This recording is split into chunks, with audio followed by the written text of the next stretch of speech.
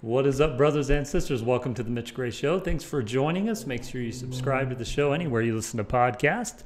We have another uh, dear friend in life. She's been on the show before, and we've had some great laughs just in the last hour trying to make things happen in this crazy life. Eliza VanCort, welcome back to the Mitch Gray Show. Thank you so much. I, this is actually one of the few podcasts I'm coming back to twice because I had too much fun the last time. So thank you for having me. I love it. You and I, we could we could converse on this stuff for probably five days straight. Yes. I'm not sure the people totally. would enjoy that, but we would definitely enjoy it. I don't so, think so either, but we'd have fun. Yeah, exactly. it's amazing. Um, before we get on to the to the to the conversation, it's amazing in the last year the people that I've met and have become really good friends with, but I've never really mm-hmm. met.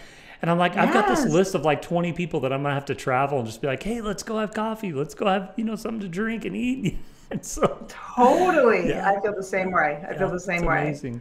Eliza, you've got a new book coming out, A Woman's Guide to Claiming Space. Stand tall, raise your voice, and be heard. That releases May 11th, available for pre order now on Amazon and I'm sure any other uh, major book dealer. So, friends, go pre order Eliza's new book. I'm telling you, it's going to be great. The reviews are amazing. And um, yeah, so let's start with a big question here. And I'm kind of uh, go back and listen to our episode that was released, I think, in November, because we're kind of going to continue the conversation, but we're also going to really dig deeper into your book, which we couldn't last time. We had to tease it a little bit. So I want to start with a big question. Um, I saw a video on your YouTube channel that folks need mm-hmm. to go mm-hmm. subscribe to, and I think it was something mm-hmm. you did maybe a year or two ago, pro- probably before mm-hmm. the pandemic. And you told a story in that video that really, uh, it, it really hit me pretty hard, and I'm sure it has other people that listen. You told a story about the idea of feeling small. Mm-hmm. And you don't necessarily have to revisit that story you told, but I do want to ask you the question what what does it mean to feel small number 1 and number 2 you know this pandemic uh, suicide ideation is up, depression is up, people have been isolated, young. Uh, depression in teenagers is skyrocketing because they haven't been in school. And I'm watching social media and talking to young people, and especially young, you know, females, girls that are dealing with. I have two girls of my own, and it's like, what's happening in life? And that's kind of what hit me when you talked in that video about feeling small. I, I think that's happening to a lot of people through this last year. So, what does that feel like? And number two, what can someone do in those moments that they do feel small? That that 15 year old girl or that college age girl that's dealing with that. What, how can you kind of prepare them for that moment to survive the moment, grow in the moment, and find their space in that moment? Mm-hmm. Well, oh boy, that's a lot of, there's so much I could dive into there. Uh, and I think I'll start with my own story. And then if you want to riff on that, we'll go that way. And if we want to talk about what people can do, we can go that way. Um, you know, when I give talks, people often see me. And I started to get feedback early in my speaking that people would say, well, you know, it's great that you can do all these things, but look at your personality it's so obvious this is so easy for you. Like i couldn't do this. You're just this magical unicorn who can right. do this. And so i remember talking to my daughter about it and saying i don't really know what to do because you know sometimes women are very hesitant to try these things. And mm-hmm.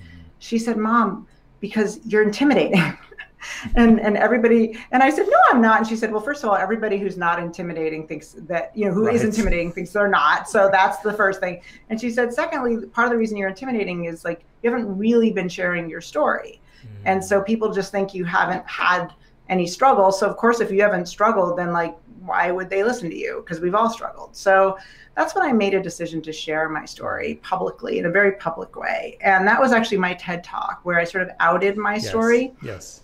Um, and when I was, so I had two parents who are absolutely wonderful. And if you get my book, you'll see a beautiful picture of my mother mm-hmm. in my dedication. Um, we can talk about that later, but we, you know, and she was, a, by all accounts, an absolutely wonderful mother. And then at four and a half, uh, she became paranoid schizophrenic. Mm-hmm. And everything changed for me. My life was just turned upside down And she took me three times illegally. So one time from New York to Texas, and then twice from New York to California. And on one of the trips from New York to California, she actually we hitchhiked across the country by truck. Wow.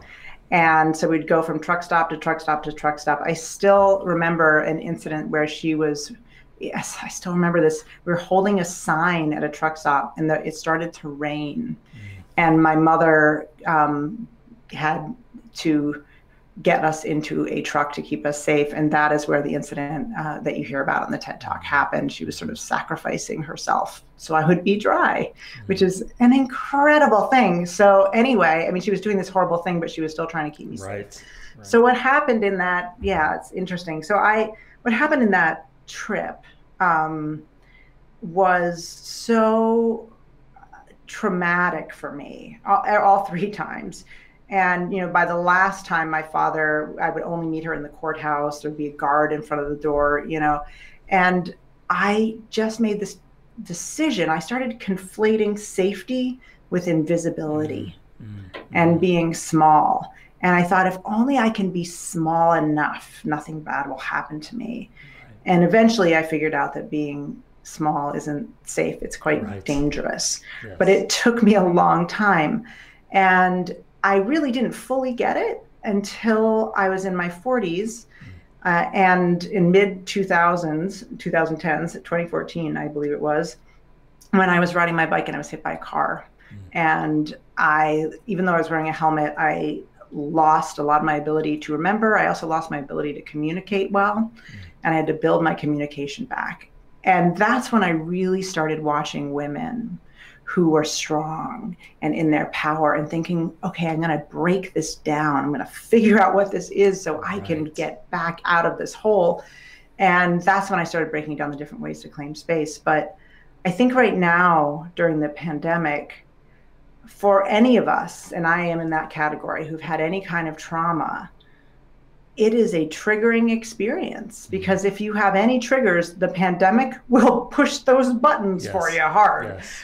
And I know for me, my, I mean, the reason I was late today, and we almost didn't do this, is because I had a mentee who needed my help. Mm-hmm. Uh, so I think that this is a moment more than ever that we need to work to claim space mm-hmm. because we are losing ground and it is hurting us and all of us really but women right. are losing ground at a more rapid rate than men statistically right. right now so what does it mean to claim space for another. You know, there's those moments within humanity where I, I grew up in the culture where it was pull yourself up by your bootstraps. You know, I have friends that I have friends that grew up in a culture that was kind of every man for himself kind of a deal, which is really the same mm-hmm. ideology phrased differently. Mm-hmm. But there are those moments in life that we just don't have it within us mm-hmm. to claim our own space. So you kind of alluded to that a little bit. What does that look like for someone to to claim space for another person, you know, for a season of life? I think it's about meeting people where they're at. Mm.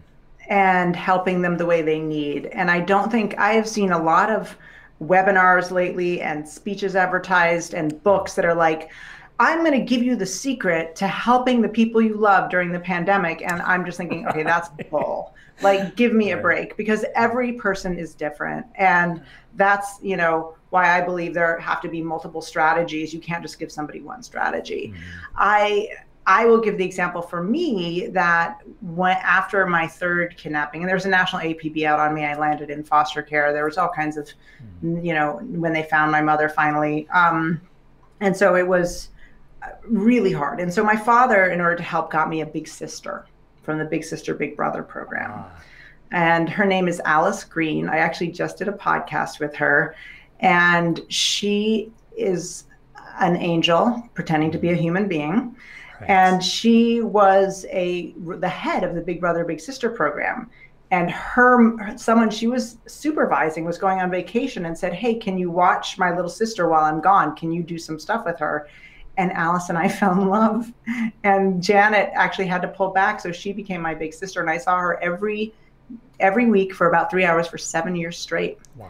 And she still talks about how I would she first came to my house and I she came in like all these things she wanted to do with me. But of course I'd just been on a road trip from hell.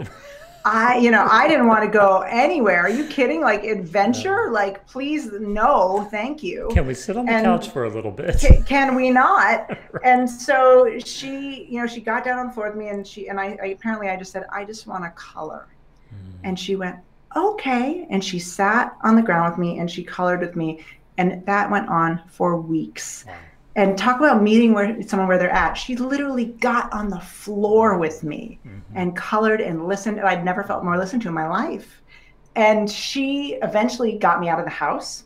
And she said I would hang on to her leg and hide behind her leg. And she was okay with it. She didn't do that thing parents do that say, come on, get out there. She just was like, Eliza's just going to chill on my leg. and so, um, and I, and to me, I think I, a lot of that modeled kind of how I, I, didn't fully get it in certain ways, and particularly when it comes to race, uh, until recently. I still don't believe you can fully get it when it comes to race, but mm-hmm. I get it a little more. Um, but I think in general, I didn't fully get. Alice really was the one who helped me understand, you know, meeting someone where they're at. Mm-hmm. And she changed my life. I was the flower girl in her wedding. When I got hit by a car, she was the first one there, and she crawled into bed with me, and we are into the hospital bed with me in the ED, and we're still friends and I've had a blessing. I have had a, to have many women in my life who've done that for me. And I don't believe in bootstraps at all. I think it's a bunch yes. of crap. Yes, I don't think anyone exists that way. Everyone who's doing okay had somebody along the way who, who yes. reached out their hand and said, let me help you. Yes. Yeah, there's a saying I love to encourage people with, and that is honor and celebrate the people that paved the way. Yes. Because you did not arrive where you are on your own. No one is no. self made. It doesn't matter what people no. want to tell you. no one no. is self made. It's impossible. No. It's impossible. It is not possible. It is not possible. And uh, you know, with my story, a lot of people say, "Oh my God," with all you've been through, because I, you know, I haven't even told half of it in this podcast, and I don't usually tell all of it because it's just pretty traumatizing. But people say, you know, oh, how could you do that? You're the strongest person. And my answer is, you know, I, I, think I do have a little bit of my mom's oppositional nature, um, but more importantly, I had a village. Yes. And that is what I. That's why I am who I am. It's it's it's the village. Yeah, that's wonderful. So we talked a little bit about helping others claim space. What what are some thoughts that you have on? you know, a lot of people find themselves in situations, if they're children, it's uncontrollable, where parents make them feel small. Um, mm-hmm. Oftentimes, it's a partnership, you know, romantic relationship, marriage, etc., where mm-hmm. the other the other party makes you feel small. There are some really difficult things in life you have to navigate. You know, as as a kid, you grow up and you eventually go, "Man, that sucked. I didn't realize it at the time." but you sometimes find that out. So how how do you if you're surrounded by these people that that make you feel that way? How uh, what are some mm-hmm. things you can do to disconnect from that? Even if it's a situation that you can't really totally disconnect. Mm-hmm. Um, mm-hmm. So there mm-hmm. are there are the situations that you can, and then there are mm-hmm. the situations that you can't. I mean, it's just right. You know, if you're a, if you're a 13 right. year old with parents, it's hard to disconnect from that. So what does right. that what does that look like? Well, you know, it's interesting. I think I'm actually looking for a section in my book so I can give you exactly what, because there's a great, I really want to talk about this because I think it's so important. I think that when you're little, my friend Kim Munson Burke is, and shout out to Kim, who is a goddess in my Morpheus in my life. Mm. Um, and I love her with all my heart. And, you know, Kim talks a lot about your compass mm. and how we all have a compass. And then there's a part there's a point at which somebody rips out that compass, or at least it goes sideways. And a lot of us are unlucky enough to have that in our life. And a lot of the quest in your life is to get that back. Yes. Um, yes. There's an amazing uh, a friend of mine, uh, and she doesn't give me permission to tell the story, so I'm only as I can tell it anonymously, so I'm not going to say the her name. But she is in a, she's Native American, she's indigenous, and she talks about um, and my friend Kim actually told me about this, and then I heard met another woman who told me this story. Um, that there's something in uh, Native American tribes when someone has wronged you in this in her tribe, everybody stands in a circle, mm-hmm. and the person who has been wronged walks up to the person who wronged them in front of everyone and says, Give me back my soul. Mm. And the person says, I give you back your soul. Mm-hmm. Mm-hmm. And I do believe that every time someone kind of takes that bit of your compass, you lose a piece of yourself. Yes. They yes. almost like they feel like, and you feel like they took it, yes. right? So I think there are several things. First of all, really understand. I think the thing that happens when you feel small is you lose track of your compass.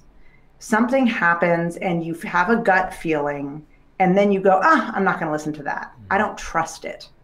And fundamentally, the first thing to do is say, if this is, if I am feeling this, I need to listen to it one way or the other and figure out what's going on. Um, and I think that is the first step to figuring out who is making you small. Yes. Because often, particularly like if we're in love with someone, you know, if they're making us small, we get that ouch, and then we decide we make up a story for them so that we talk ourselves out of so it, right? Stay. Yeah, we talk, we talk ourselves, ourselves, out, of, it. it. Yeah, yeah, exactly. So I think that's huge. And then the other one is is uh, beware anti mentors because those are the other people who can really rip that compass right out of you. Ooh, go deeper on that. Anti mentors. Anti-mentors. Anti-mentors are, uh, for those who are a little older who read the Peanuts. anti-mentors are Lucy holding the football. Yes. Um, they are that person that you're like, this time you're gonna mm-hmm. you're gonna keep let me mm-hmm. kick it, and they're like, absolutely, Chuck, and then you're on your damn back and it happens every time. And basically, they, right, they right. are your anti-mentor.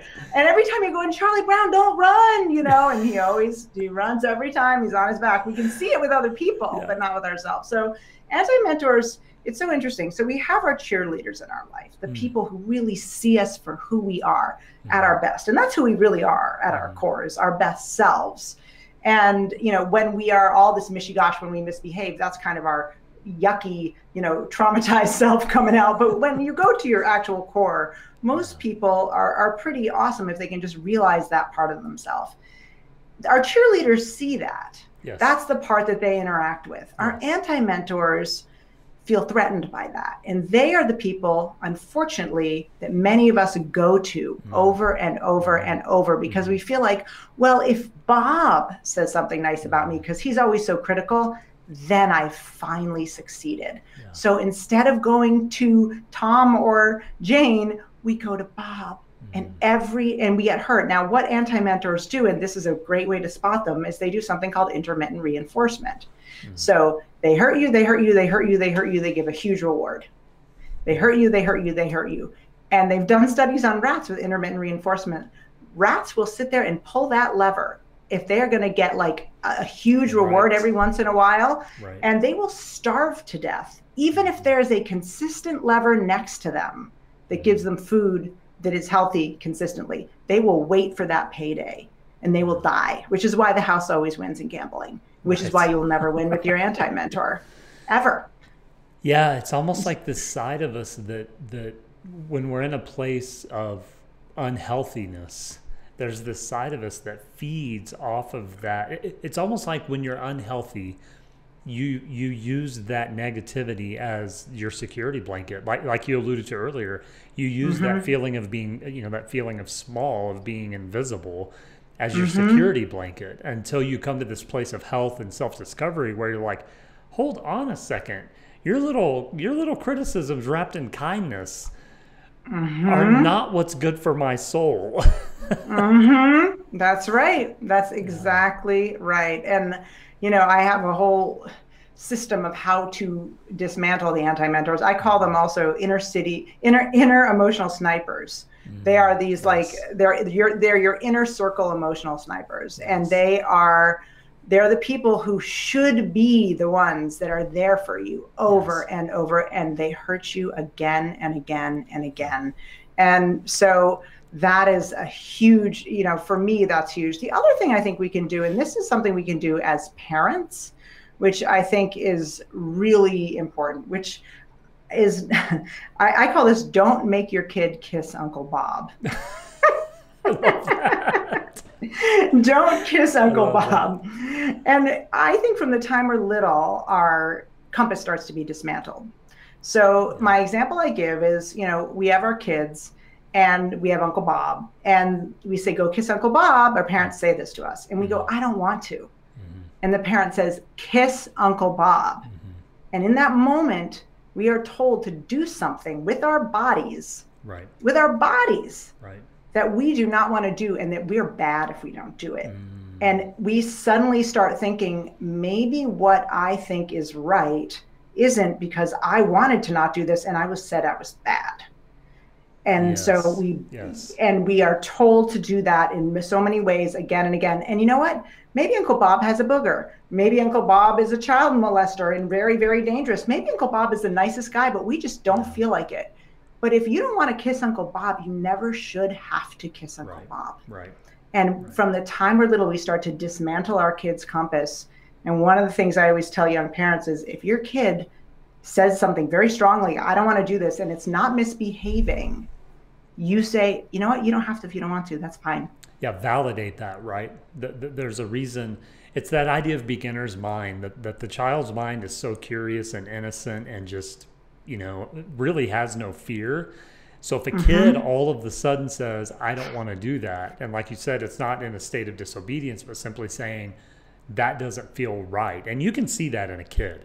A kid is mm-hmm. so innocent and curious that there there's no filter there. And yeah, you're mm-hmm. right. To talk them out of what they know is best for them is to totally right. go against that beginner's mind, that mind of innocence. And and yeah, I, I love how you've painted that picture of it starts deconstructing that compass. And really what mm-hmm. it does is it starts affirming in a child the the, the self destruction of the compass. Yes. So then not only yeah. not only are there their outer trusted sources deconstructing the compass, but they're being validated to start self deconstructing the compass. And that's right. Um, and we all go through it at some level, but that's tragedy waiting to happen. Our instinct, we, we get told that what our gut is telling us is wrong, is wrong and mm-hmm. bad. Mm-hmm. And as yeah. soon as you start telling a child that, particularly about something I believe that they are going to do with their bodies, yes, you are setting a dangerous precedent. Yes, yeah, that's that's wonderfully wonderfully told and painted. Um, we're chatting with Eliza VanCort. A Woman's Guide to Claiming Space is her new book that releases on May 11th. Um, I would it's it says a woman's guide because Eliza knows her niche audience, but I'm going to tell you this is a book about humanity and mm-hmm. I encourage anyone to to read this book. Um, I kind of want to go away from all you and I. We just go deep right away. We don't even care. I know. So we don't, we're we like, don't care. We're like we world care. changers. Here we go. But I want to. I want to change directions a little bit. Um, why did you become an author? What made you? what made you become? You know, because I hear that from people so often. I want to write a book. I've always dreamt of writing a book, and it's like, well, why don't you write a book? And the majority of people don't. Um, mm-hmm. You've taken it and told your story, and you're changing the world one one female and human at a time. What motivated that? That's a really tough question.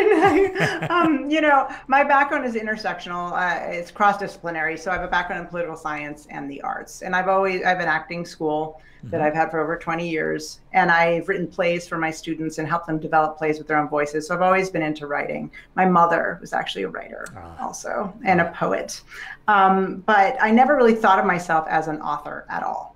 And when I had my head injury, I would go to bed at night remembering most of my day and wake up and half my day would be gone. Wow. And my friend Katie, I wrote a post for Facebook one day when I was awake, and my friend Katie called me and said, You really need to write every day. That way you won't forget what happened. Mm. And I thought, Oh, that's a really good idea. so I would write because I realized I was like a country going to war, mm. forgetting why somebody threw the first stone you cannot you know you know you can't learn if you don't remember your history right. if you don't remember who started it if you can't remember what happened you can't learn mm-hmm. and so i was sort of in this weird purgatory in my life where i couldn't learn because i couldn't remember mm-hmm. and um, people often say you know live in the moment but i always say life is a collection of memories the moment's gone in a second yes and if you can't yes. remember those memories you you aren't you you are your memories right. and so you want to make good ones in the moment but you are your memories so I started writing I wasn't allowed to look at a screen. So I was typing with my eyes closed. And every day, crazy. And so I would send these like typo laden um, bits of text to Katie. I mean, every night I would touch type and she would, God bless her, she would edit them and send them back to me every day. Wow. And every day she'd say, You got to write. She'd call me, she'd stop by, you got to keep writing, you got to keep writing. And the amazing thing is, I ended up writing a book mm-hmm. about my life story in about three weeks. Mm. Uh, some people think I had, I think it's called um, the hypomania or something. I know graphomania. I don't know what it's called. Whatever it is that when you have, you're compelled to write because of my head injury. Yeah. But what I found out later, which is really interesting, is at the time they told me, you know, you have to rest your brain, and I couldn't do it. I mm. could not do it. Mm-hmm. Now they say whatever you work on when you're recovering is what your brain will tell you is important. Really? That's and so you will, yeah. So you will actually your brain will go, oh, I really need to work on, yeah, I need to put a lot of effort into this because this is what this this organism does. Mm-hmm. And that was the only thing I was doing. And after that, I wouldn't say I became a better writer, but I will say it became a really critical part of my life and never went away. I guess that makes sense scientifically because we do know that the the old saying that we used to teach elementary and middle school kids was neurons that fire together wire mm-hmm. together. So that does make sense when you're in recovery and whatever you're doing to kind of spark, you know, your brain activity. It does make mm-hmm. sense that after that it would kind of that would kind of be your go-to. That's interesting. I've never thought about it from that perspective though. Hmm. Yeah. Katie changed my life in that way that's, and, that's and many other ways. Yeah. so so why the idea of teaching women to better claim space. Um, you, you, you fell in love with writing. It kind of was your healing place. You mm-hmm. decided to write a book. What made you go that specific direction? Well, so I would go after this. I started my career giving my talks, teaching everybody what I learned and how I'd been able to recover. And during that process, I did notice, you know, these are the things that help women claim space. I didn't have the word claim space, but I right. knew this is what makes a badass. You know, these right. five things uh, make a badass woman. And then that's book number um, two, by the way. We, we just yeah, book number one, how to be a badass. Yeah, exactly. So, um, so well, actually, I'll tell you, I almost called the book "Conversations in the Bathroom: How to Communicate Like a Damn Superhero," but then I realized it was more than communication. But after my talks, women would follow me to the bathroom and they would be washing their hands. They'd sidle up to me and they'd say i gotta ask a question that wasn't asked in q&a because i didn't want to say it in front of the guys. But and i started realizing that there were about 40 questions that were asked over and over and i would have these secondary workshops and talks in the damn bathroom. I was in there once for two hours. I almost missed my flight. And so i thought you know it really sucks. We have these have to have these conversations in the bathroom you know, we need to have them in the sunlight. What if I took these things that all these women wanted to talk about and I mm. brought them into the sunlight? Mm. And that was really the beginning of the little amoebic stages of the yes. book. Yes. That's amazing. That's amazing. Um, in the book, you have some really beautiful thank yous and dedications. And, and I, lo- I mm. love how you tell the story of, you know, the, the small story of the people that really helped you arrive at where you are. Um, mm-hmm. There's a beautiful picture of your mom. She was a be- beautiful lady, and there's something that you say in, in, in kind of that dedication to her, and that is, um, she told me I could do anything, so I claimed this space for her. We've alluded to that a little, but God, that makes me emotional just even reading I know. It. I'm tearing up every time uh, I yeah, hear that. I'm like, oh. Yeah, that's beautiful. Um, the power of words, right? It's crazy. What does that look like? Um, you, you've told us the story both in the previous episode and today about that journey that, that your mom mm-hmm. went through and that she subsequently took you through as what'd you say, mm-hmm. you were four or five years old? I mean, really young. And, mm-hmm. and at that mm-hmm. age, for something to happen and it's really stuck with you and kind of been a, you know, a, a, guiding light per se, and I'm sure of multiple facets. But mm-hmm. what does that mean for you to think you know that that was my mom and she was mm-hmm. the best version that she could be within mm-hmm. her scope of life and now i'm claiming space for her what, what, what does that yeah. what does that mean well you know she was she was an amazing woman before she got sick and she was a writer she was a poet she was an english teacher mm-hmm. she went taught in harlem and brought her kids into the park and did shakespeare before everybody was leaving desks wow. you know and wow. the you know the principal got mad at her my aunt nancy tells the story and she said no i'm bringing them to the park to do shakespeare like sorry you know so she was really a badass um, and my dad said that you know he used to tell the story of she could just do anything. She was so powerful. Mm-hmm. and he tells a story of being in the 60s and there was this big art exhibit going on with all the cool people in the 60s and they're in their bell bottoms and their jeans and their fringe you know off their leather. Mm-hmm. and my mom goes we're going in. They're in they're in greenwich village and my dad goes, We're going in. There's a rope line. Are you insane? And my mom's like, We're going in. Wow. And my dad's like, In 10 minutes, we're in there talking to all these famous people. I can't figure out what the hell she did, but that's what she did. So that was my mom. And then the illness stole that from her. Yeah. It stole that from her. And she never got to do all the things that she could have done. Mm. And I know that she could have done amazing things if right. she hadn't had her life taken from her. And I wanted to honor her. Yeah. yeah. And that's what it is. I wanted to say, Mom, this is for you. I'm getting verklempt. but the other thing that, that your listeners don't know, which makes it a little harder, is that my mom is a missing person. Right. So my mom has been missing since I was since my, I was pregnant with my last child, who's now um, a teenager. And so for me, it's honoring someone who I don't know what happened to her. Right. And I want her to know wherever she is, I'm thinking of her. Yeah. I also do want to shout out, however, to the fact that I had a father who was a single dad for a while, who was amazing. And then I had a stepmother, Beth Prentice, who stepped in. And I had a family and um, and then I had all these other women like my, you know, who jumped in to help me. So it's not, you know, so I grew up with a mother figure and many aunt mm-hmm. figures. Mm-hmm. So I do claim it for her, and she is, you know, I want her memory to not go away or fade away. But I also want to say that, um, you know, I wish I could have put every woman I love on on that page yes. because there yes. are a lot who deserve to be there. Yeah, yeah, that's beautiful, beautiful. Um, I, I I love the emotion the the tagline of our show is bringing the art of humanity back to leadership and mm-hmm. i use the term leadership a little loosely because i believe everyone mm-hmm. is a leader in one form or mm-hmm. fashion and and i love the mm-hmm. emotion because it does you know we, we're, we're all humans and we all have this story and we're all navigating everything that happens to us or the choices we make and I think too many times we live without emotion to our detriment. And so yeah, I just, I, I, I love that. So there's five parts to the book.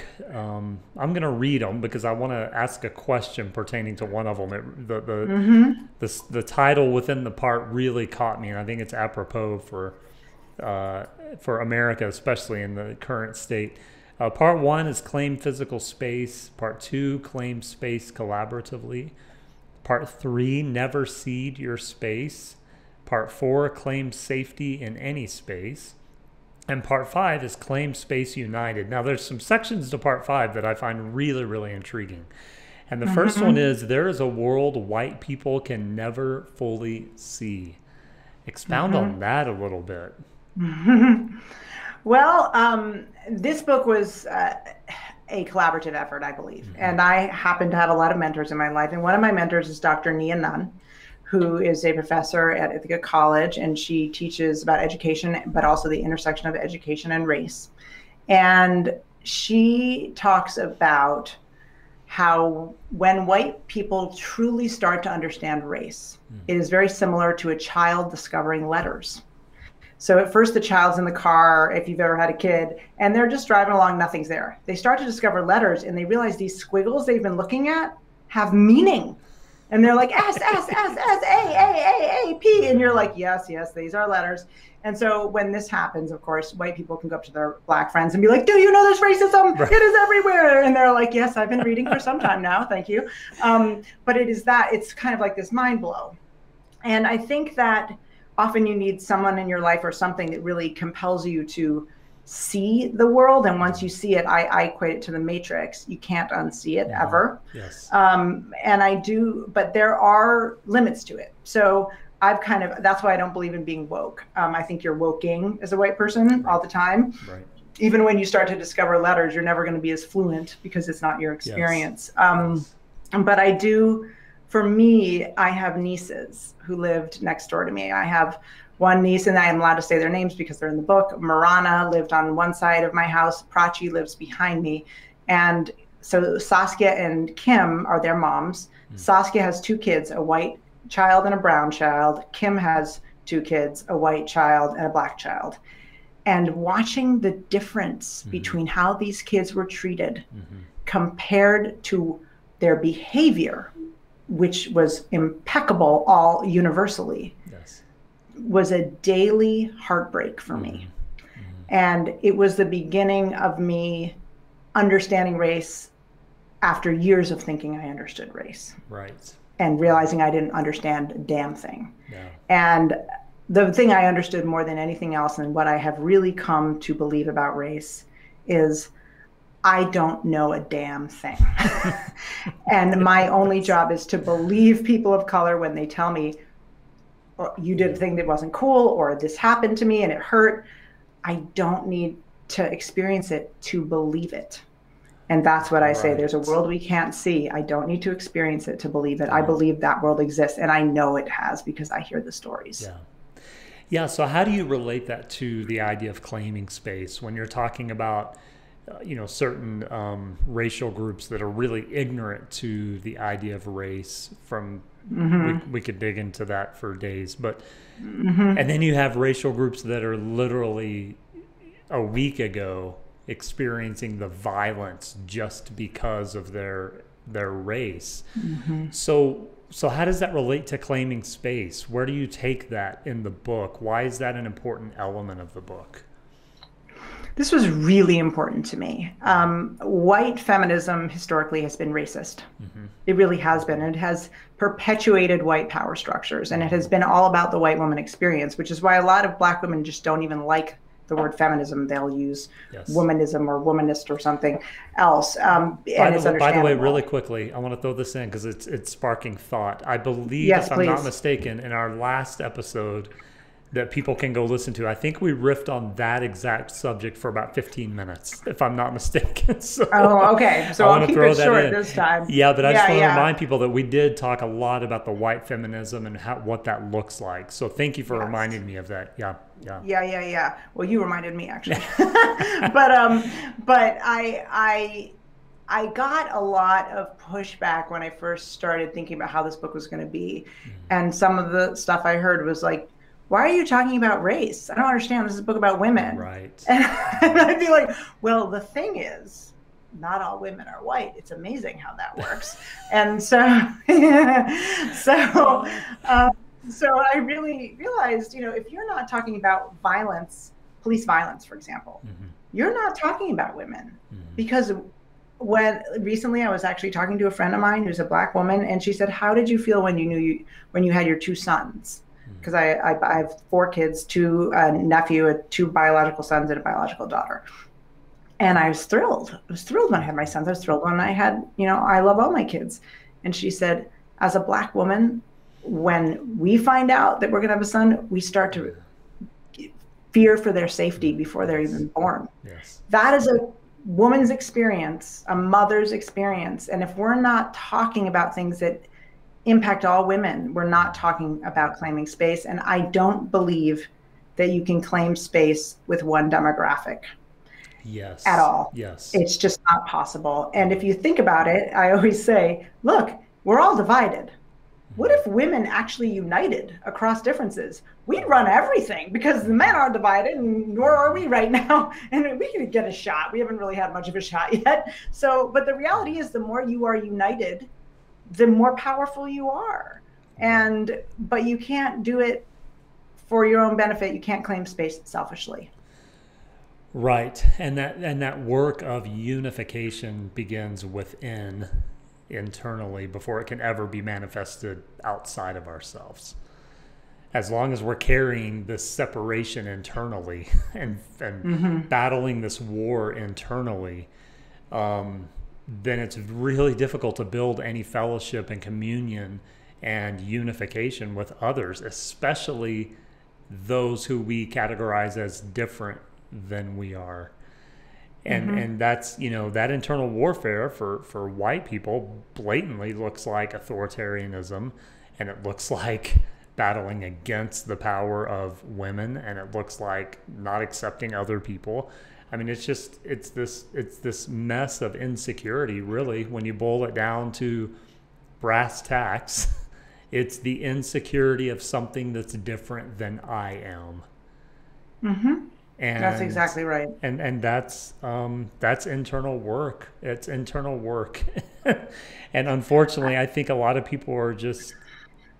I, I think a lot of people are just really um, not prepared or don't give themselves the permission to take part in that internal work.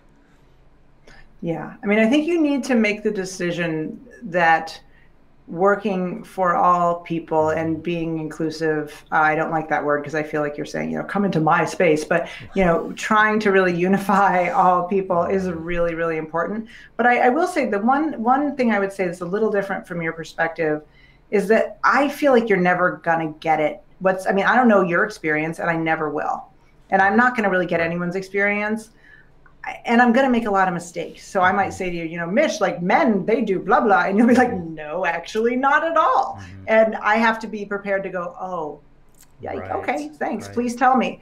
And it's okay to mess up when you're learning about this. But I also think you don't have to worry so much about being pure on the inside because I don't believe personally anyone is. yeah. I think you have yeah. to worry about impact. Mm-hmm. What is the mm-hmm. impact? And if you mm-hmm. focus on impact, then you won't feel you need to be an angel to do this work right. you know because nobody is yeah. we just no. you know we're human we're all human we're all human yeah which is what makes the story so powerful right is is the greatest honor we have as humans is getting to decide how we're going to live this life at the end of the day that is the greatest honor we have and which actually yes. is what creates the most impact that decision on how we're going to live this life is what makes the greatest impact on on ourselves mm-hmm. and on others. Yeah, it's agreed. And we can't, you know, I, I, I think I think where we mess this up is we really blanket statement across the board. We really do our due diligence in trying to control the way others live their lives. Yes, for sure. When it's we can't, like you just said, you're you and I'm me, and that's what makes it beautiful. We we can't yes. control one another. Um, mm-hmm. At the same time, we have to we have to claim that space that sets the boundaries and says, but I'm also not going to allow you to treat me less than who I am. That's and and and that's a um, you know again we've seen it in America, especially over the last year with the things that have been taking place. Is is again blanket statement. One side of the of the audience is saying I'm going to control things, and the other side of the audience is saying no, you're not. And mm-hmm. that's when life becomes really interesting. yeah, really interesting. absolutely, absolutely. Yeah. And I think it becomes actually extra in, interesting in some ways for the people in power because totally, people, like, totally, you know what I mean? Because yes. you're doing a lot of disruptive work. Yes. And I have found that when you do that, the work you, the group you are disrupting, if you are a part of it, can get very vicious. Mm-hmm.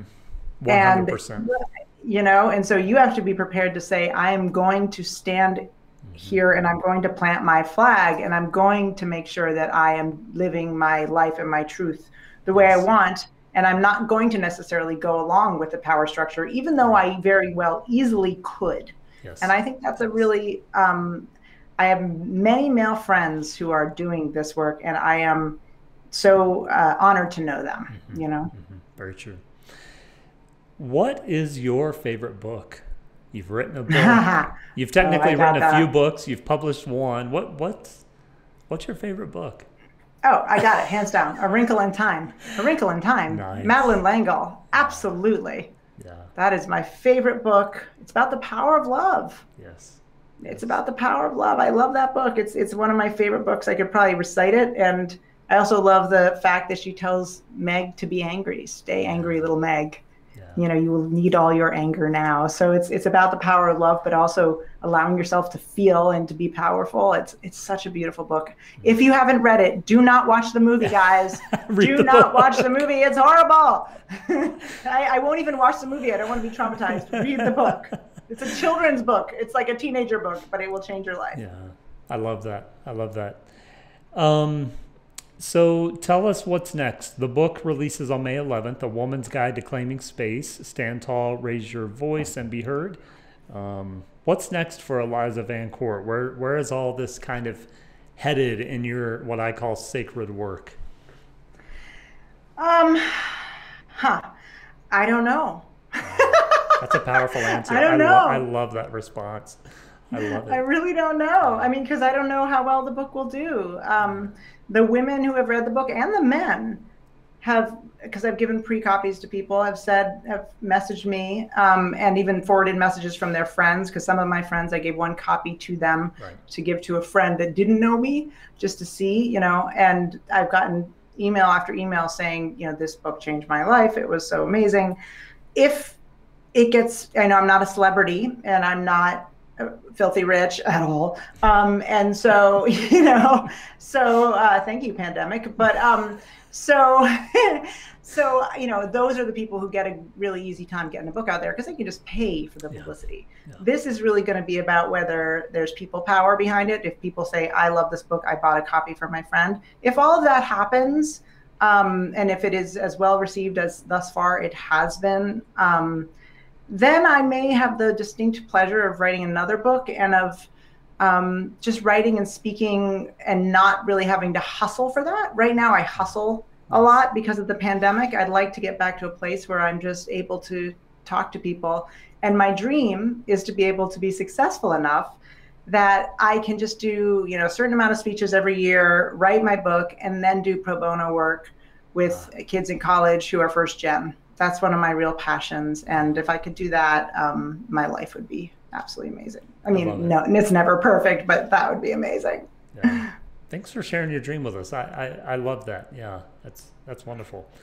And are you um, obviously right now you're really digging deep into promoting the book and, and getting it out, mm-hmm. but are, are you still open? I know you've done some consulting in the past with you know companies yes. and with things like that. Is that is that something you're still you know people could reach out to you um, to discuss? Absolutely. Well? Okay. Yeah, I mean, I actually just did a talk for Microsoft, um, and so I've I've definitely been doing that work, um, and I, and I'm I actually it's it's kind of interesting. It's very different because I do it here and then I in my studio and then I go upstairs and have a right. cup of tea.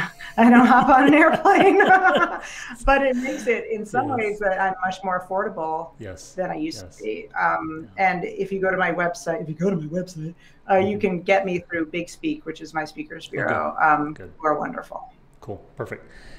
Um, yes, and we'll put your website and all of your social media links in the show notes so people can can find you there. Of course, you're you're everywhere yes. on social media as well, so make sure you find Eliza um, there also. Um, and please reach out to me on LinkedIn. Oh, do you mind if I yeah, don't have a little? Please do. Please do. Okay. Okay. I'm going to plug. I'm going to claim please some do. space. Um, I love it when people have heard me on podcasts mm-hmm. or they've done a workshop with me or a talk, and they reach out to me on LinkedIn and ask a question. Mm-hmm. I just love it. I don't always get back right away, but I will. Yeah. And it's been I've heard some of the most beautiful stories. I've it's made me think. It's made me feel like I've made connections with people all over the world. So, which is really cool. So, you know, I, I really love that stuff. Same with my personal Facebook page. I've developed friendships with people I've never met. Um, so I, I, don't do a professional page, Facebook page anymore, although I might open it up again because I'm terrible at it. But because I'm just me and I suck at doing the professional Facebook page. But, you know, please reach out to me. I, I don't be shy. I, I really do enjoy people. That's why I do this work. Awesome. Awesome.